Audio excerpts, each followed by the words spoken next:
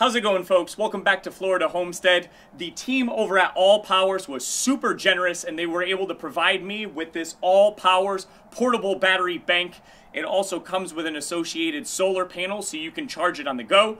It's great for camping, it's great for around the homestead, around a farm, or even around your home. If you need power on the go, this thing is super lightweight in my process of doing this review today, I lugged it all around the farm with me. I was able to operate a, a, corded saw. I was able to operate a corded drill with pretty much simplicity as much as you're going to get with a regular outlet. I was able to do a lot of stuff around the farm in the process of reviewing this thing. It's really cool. It charges super fast, and I can't thank Allpowers enough for giving me the opportunity to test this thing out.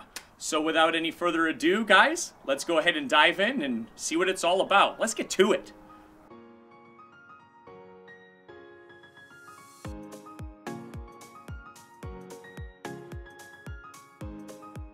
So this is the Allpowers R1500 Life P04 power station, and it was actually shipped to me with the SP033 solar panel. Now I don't believe that that comes standard, but you can always add it, and honestly I can see why you'd want to because it would allow you to charge on the go. And the solar panel actually comes with a bunch of different hookups, one of which it could be used like to power or charge a laptop as well, so it kind of has that nice dual purpose functionality there. You can use the solar panel to ch charge your generator, and then you can go ahead and unplug the generator, use it to charge your laptop or other devices while you're out camping or something of that nature. So the solar panel is a nice addition, but even without the solar panel, just charging it with the AC input, I was able to charge it. It came out of the box at about 77% battery. I plugged it into the wall, I walked away for five minutes, and when I came back, it was at like 91%, and I was really amazed by that. It was charging super quickly. So it has four different ways to charge, AC, solar, double AC plus solar, so you could do both at the same time, or auto. Um, and honestly, they say that this thing can go through over 2,000 charging cycles, so it's gonna last quite a long time. Now, in the past, when I've looked at some of these power stations, one of the hardest things to set up was the app that accompanies it. Um, in the past, I've had power stations where the instructions are not in English, and they actually had instructions that were not viable. They were untrue. I had to go ahead and look up online how to actually get to the modern version of the software or the current version of the software. Um, and I was running around like a chicken with my head cut off for 40 minutes before I could even get into the app.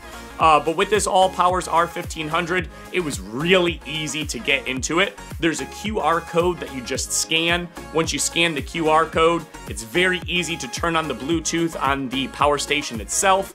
It was very easy to get into the settings on the app and go ahead and sync the two together. And it's really nice. You can enable or disable your AC or your DC outputs remotely from the uh, from your phone. You can see about how much battery you have left from your phone, and it has all those features that you'd kind of expect from a modern product such as this.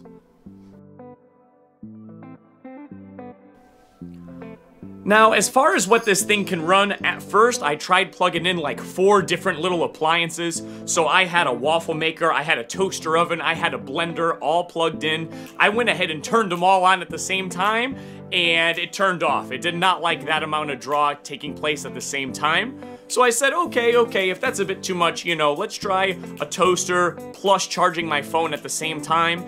It handled it no problem. Let's try um, you know, the waffle maker plus charging my phone at the same time. It handled it no problem. So obviously that would simulate something like a camping experience where you would maybe want to use one small appliance at a time. Maybe you've got three people all charging their phone simultaneously in it, right? Maybe you've got somebody charging a laptop off of it plus one phone.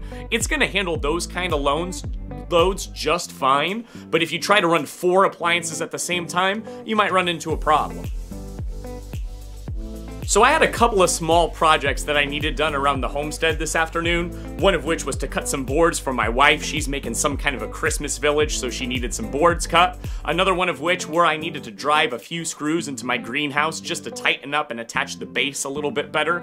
So I said, instead of using some of my battery-powered cordless tools, why not drag out some of my corded tools? Let's use the corded saw, let's use the corded uh, drill, and let's see if the Allpowers power station can handle those those loads, and I can honestly say that it handled it quite well. I was able to make the cuts that I needed to make with the saw. I was able to get those screws in no problem using the corded drill. And one thing that was really nice is as I was moving around the greenhouse, because I had to I had to put in screws on all different corners of the greenhouse. And as I was moving from corner to corner to corner to corner, I was dragging this power station around with me. And honestly, it wasn't heavy at all. I was carrying it with one hand, so it was really, really light. Um, and it wasn't bulky or cumbersome, kind of dragging it around just for the sake of making these shots for the video. It was really lightweight and it was really portable. I think that that's one of the biggest features of this thing is how portable it is. So like, and it's not very heavy. You could easily take it camping. Um, if you had some rural property that you were doing work on and it's not necessarily connected to utilities, uh, this thing would probably be invaluable for working on a property like that. Folks, with that being said, that's going to conclude the video. I cannot thank Allpowers enough for giving me an opportunity to try this thing out.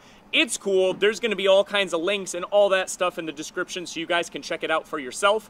It's got the associated power panel. I mean, if you're any kind of like RV life, if you're any kind of, uh, you know, van life, going camping, doing anything on some real, real rural property where you want to bring corded tools out with you, um, this thing's perfect. It's going to be able to do all that for you. It even give you a little bit of security if you're worried about a power outage during something like a hurricane. Uh, it won't run your air conditioner, but it'll run little uh, little appliances and stuff like that. So I think it's great. Big thumbs up from me. Thank you so much, guys. God bless you. If you enjoyed the video, don't forget to subscribe. And until next time, hey, it's Justin with Florida Homestead. Take care, you guys. Bye bye, everyone.